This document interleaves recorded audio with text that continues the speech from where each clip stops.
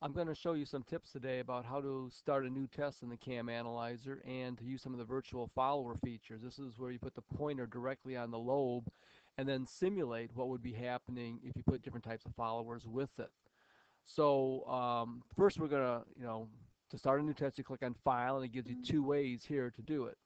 And it's not, I hit something else. It thought, it, it thought I hit Edit, but anyway. Um, you can do either the easy start or the classic way where it gives you one screen. Uh, but before you start, it's always good to pull out of the library a test or a CAM test that's real similar to what you are going to run now. So in this case, we're going to do a small block Chevy. Uh, it happens to be a flat tap what we're going to do. And so here's, we pulled out a small block Chevy flat tappet cam. So anyway, I'm going to use the Easy Start Wizard. Click on File, Easy Start Wizard and it asks you a bunch of questions. I won't go into a lot of detail here. Most of these questions are pretty straightforward. Uh, first thing is, do you want to run another test like this? And I'm going to say yes. Well, no, let's say I'm going to say no, and I'll show you some of the extra questions it's going to ask you here. It goes through a lot more questions if you say no. And uh, it says, are you going to use electronics? And uh, just a number of extra things that are going to be asked here. And this would be useful if you're running a test for the first time or have never uh, done this before. Ask you, is the cam design a small block Chevy? And we're only going to measure one cylinder on this and such. And we're going to say the intake center line. Let's say on this one it's not 110. Let's say we're going to assume it's a 108 lobe center line. And a bunch of other questions. Like I said, I'm not going to get into a whole lot of detail here just going to accept a lot of the defaults, a lot of carryover from the other things. But here, let's say I know that it's 26 thousandths on the intake and 28 on the exhaust. And here you can put in your cam number or what operator is doing it. And let's say I'm Kevin, so we're going to change that. And uh, here's the folder name we're going to store it in. I don't know the grind number, so I leave that. And I'm going to blank out these comments or set erase these comments and finish. And now I'm left on the main screen pretty much blank, ready for me to record. Because we're doing virtual follower, let's go into the virtual follower specs to make sure things are set up correctly. So we click on the test slash cam setup, and here's the virtual follower details. And a little screen pops up, says if you make changes, it's going to change some things. But because we haven't started measuring anything, that's not real critical. This is where you assign it a virtual follower as a virtual follower, that things are going to be done with a pointer directly on the cam and so I change it to virtual flat.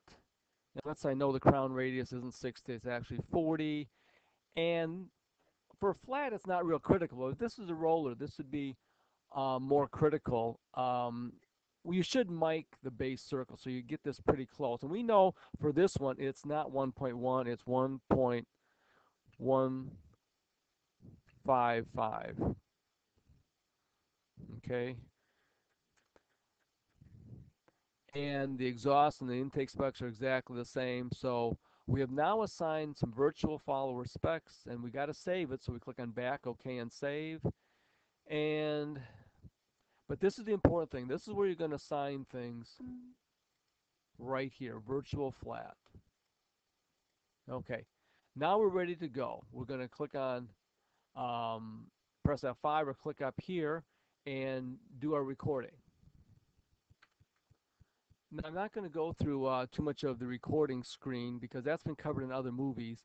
But here you are after you've measured uh, intake number one and exhaust number one. And you can see this looks pretty much like a typical cam profile. So like you always want to do once you've made some um, some changes or doing some recording, you want to make sure you save it. If you want to save it to the same name, you just click on File, then Save. And now we know that those changes have been saved. You might want to type in some comments, which I'll do here.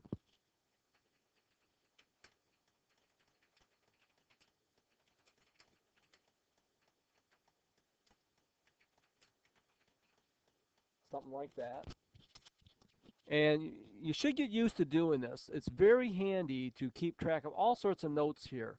Uh, so you know what you're actually doing. Um, if you come back six months or a year later to know what's going on here. Now I'm going to do something to try and um, illustrate what the virtual follower is actually doing here.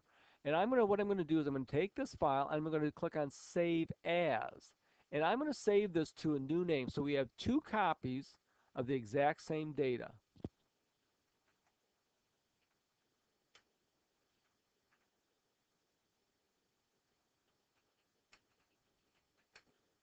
I'm going to call it no virtual. And what I'm going to do is I'm going to go in here and turn off the virtual follower stuff. I'm going to say this is a standard flat, that this is exactly how I measured it. And you can see I did some updating there. Okay. And now you can see this doesn't look like a cam profile. See how pointy this is? Well, the reason it's so pointy, is it doesn't have that flat tappet on the actual um, cam lobe to, to broaden this thing out. And if we go make a graph here of just, let's do intake and exhaust. We're just going to do cam data and just graph the lift. You can see this is what we've got. Now what I'm going to do is I'm going to click up here on the history log and I say, run this other one that had the virtual follower stuff with it. So I'm going to graph both of these. I'm going to check here also and just go down the list and see what else I've turned on to graph here in the graph column. And it looks like all I've got is these two, the current test with no virtual follower and then the one where we simulated the virtual flat tappet follower. And you can see the big difference. See how pointy this is, the green and the dark blue. And this here looks more like a real cam profile that gets broadened out. Okay, what I'm also going to do is I'm going to show you another feature here uh, with the virtual follower. So what I got to do is I'm going to click on File, and I'm going to open from History Log. I could open from All Save Tests, but I want to show you how the History Log works.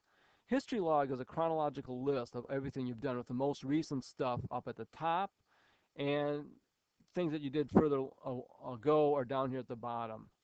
So the virtual follower is the second one in the list because it's the second to the last thing we ever worked with. So I'm going to open this file you here we got back to the regular looking cam profiles.